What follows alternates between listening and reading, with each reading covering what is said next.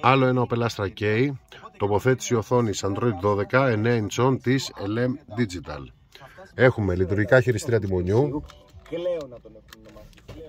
κάμερα οπισθοπορίας ευρυγόνια,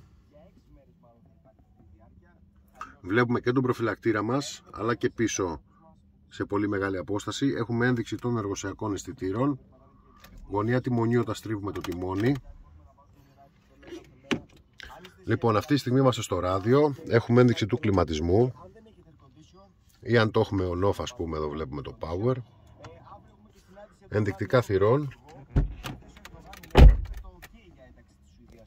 Λοιπόν, αυτή τη στιγμή είμαστε στο ράδιο. Έχουμε δύο θύρες USB για αναπαραγωγή μουσικής. Βλέπουμε και τους φακέλους μας.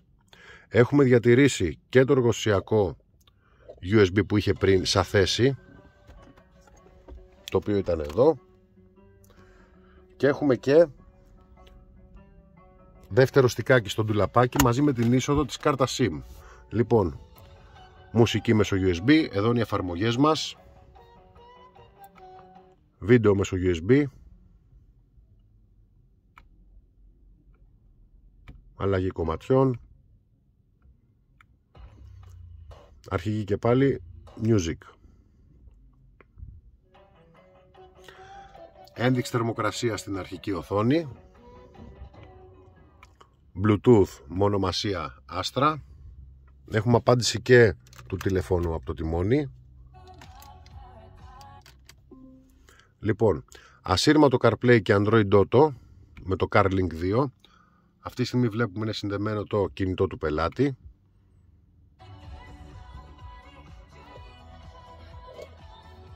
Σε CarPlay να σύρματα, ο άνθρωπος δεν είναι μέσα στο αυτοκίνητο. Λοιπόν.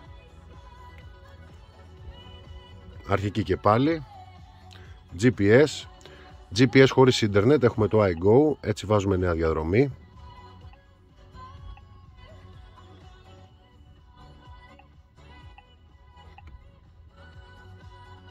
Έναρξη. Και έτσι ακυρώνουμε. Αρχική και πίσω μουσική και πάλι. Και επίσης έχουμε και split screen.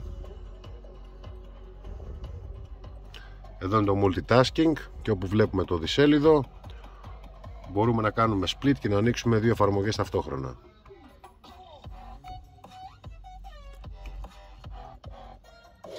Αυτά.